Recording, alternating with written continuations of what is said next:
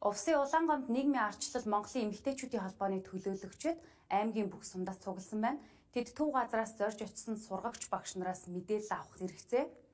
Эмэгтэйчүүдийн нийгэмдх оролцооны асуудлаар туйлын шийдэмгийгээр байр суурь илэрхийлсэн байна. Нийгмийн ардчлал Монголын эмэгтэйчүүдийн холбоо эх орныхоо 21 аймагт хүрч хөдөөгийн гишүүдтэй хандсан суврал сургалт уулзалт арга хэмжээг зохион байгуулж байгаамаа. Үрхийн төсөөс эхлээд аж ахуйга хэрхэн зөв хөтлөн явуулах эдийн засгийн ойлголт өгөх сургалтууд мөн нийгэм улс төрийн амьдралд эмэгтэйчүүдийн оролцоог нэмэгдүүлэхэд олон улсын туршлагаас танилцуулж байна. Тус холбооны ерөнхийлөгч Сарангэрл ковидын дараах хямралаас дөнгөн өндих гэтэл хурш Оросын холбооны улсын Украинд хийж байгаа дан манай эдийн засгт хэрхэн нөлөөлж байгааг тоо баримт мэдээлэл судалгаан дээр тулгуурлан танилцуулж байна. Нийгмийн ардчил Монголын эмэгтэйчүүдийн холбооны увсын төлөөлөгч эмэгтэйчүүд. Зах хязгаар нутагт хүнсний аюулгүй байдал ямар байгаагаас эхлээд үнийн хөөрөгдөлд хэрхэн сүгдэж байгаа талаар нэг нэгэнгүй саналаа хэлж төв газар хил дуулах хүсэлт тавьж байлаа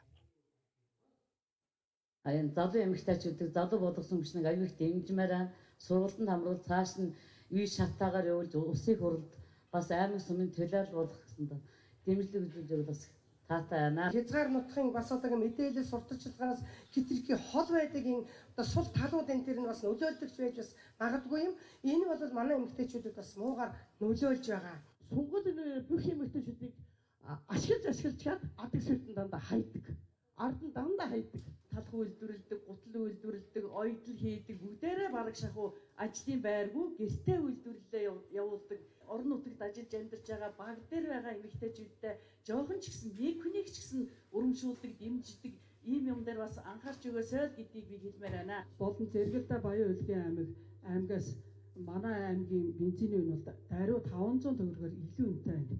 Энэ бол бидний одоо амьдрал ах уу одоо бүх бүтээгдэхүүний тээврийн зардал нөлөөснөөс болоод бүтээгдэхүүний үн бидний одоо амьдралын юунд их нөлөөлж байна.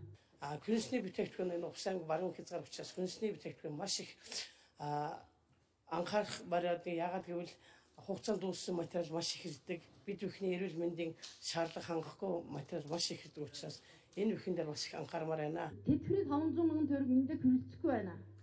Тэтгэврийн 500 мянган төгрөгөөр аваад одоо аж цайнастай нэг илүүчлээд авах гэхээр юу ч гарахгүй байна. Яг ойрын амьдрал Увсын хязгаараас өмнөд говь хүртэлх нийгмийн ардчил Монголын эмэгтэйчүүдийн холбооны уулзалтууд үргэлжилж байна.